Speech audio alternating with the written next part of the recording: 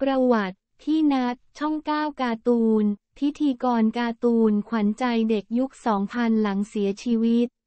จากกรณีข่าวเศร้าสะเทือนวงการการ์ตูนและบันเทิงไทย กับข่าวการจากไปของพี่นัทธนัทตันอนุชิติกุลหรือพี่นัทช่องก้าการ์ตูนเสียชีวิตกระทันหันด้วยอาการโรคหอบหืดกำเริบในวันที่ 5 พฤษภาคม 2566 ในวัย 38 ปีสร้างความเศร้าเสียใจให้กับแฟนๆ รายการที่ทราบข่าวเป็นอย่างมาก โดยเด็กๆ ยุค 2000 คงรู้จักพี่นัทช่องเก้าการ์ตูนกันเป็นอย่างดี เพราะพี่นัทเป็นพิธีกรในรายการการ์ตูนตอนเช้าและยังมี ผลงานโด่งดังอีกเป็นจำนวนมากสำหรับประวัติพี่นัทธนัทตันอนุชิติกูล หรือพี่นัทช่องเก้าการ์ตูนชื่อจริงธนัท ตันอนุชิติกุล ชื่อเล่นนัด วันเกิดวันที่ 4 มีนาคม 2528 จบการศึกษาปริญญาตรีคณะพาณิชยศาสตร์ และการบัญชีภาคภาษาอังกฤษจุฬาลงกรณ์มหาวิทยาลัย จบการศึกษาปริญญาโท Master of Management International โปรแกรม มหาวิทยาลัยมหิดล Master of Business in Marketing University of Technology Sydney ออสเตรเลีย หลักสูตรผู้บริหาร Executive Leadership Program วอตัน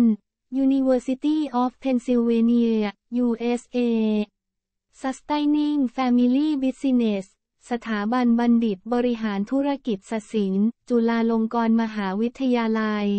โดยพี่นัทเริ่มต้นการทำงานด้วยการเป็นพิธีกรายการไฮไลท์การ์ตูน 9 จนเป็นที่รู้จักกันดีในชื่อพี่นัทช่อง 9 การ์ตูน มีผลงานออกอัลบั้มเพลงฮิตการ์ตูน 9 ร่วมกับน้องชาย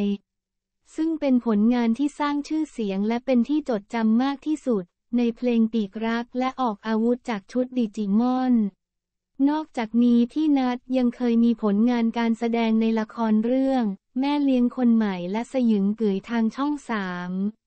ในบทบาทพิธีกรรายการทีวีเองก็มีอีกมากมาย เช่น รายการไอทีวีการ์ตูนคลับทางช่องไอทีวี รายการ 50 ต่อ 50 เกมโชว์สำหรับเด็ก ทางช่องสามรายการสารคดีคลังปัญญาและมหัศจรรย์สัตว์โลก ทางช่องโมเดิร์นไนน์ทีวีดีเจรายการเพลงสากลประจำคลื่นวิทยุ Met 107 ของอสมท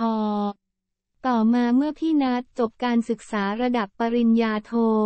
ก็ได้วางมือจากบทบาทหน้าจอมาสู่การเป็นผู้บริหารอยู่เบื้องหลังเป็นนักธุรกิจอย่างเต็มตัว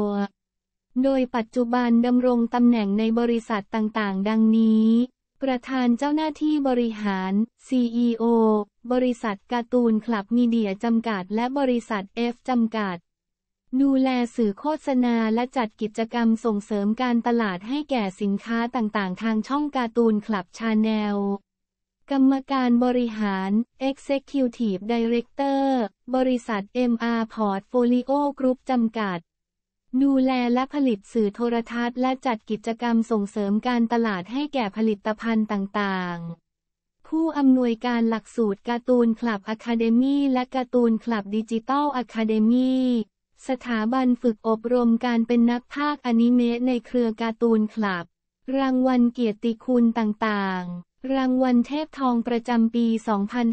2556 ด้านองค์กรดีเด่นให้แก่บริษัท F จำกัดจัดโดยสมาคมนักวิทยุและโทรทัศน์แห่งประเทศไทย ในพระบรมราชูปถัมภ์โลประกาศเกียรติคุณผลงานดีเด่นด้านการป้องกันยาเสพติด จากท่านนายกรัฐมนตรีให้แก่บริษัท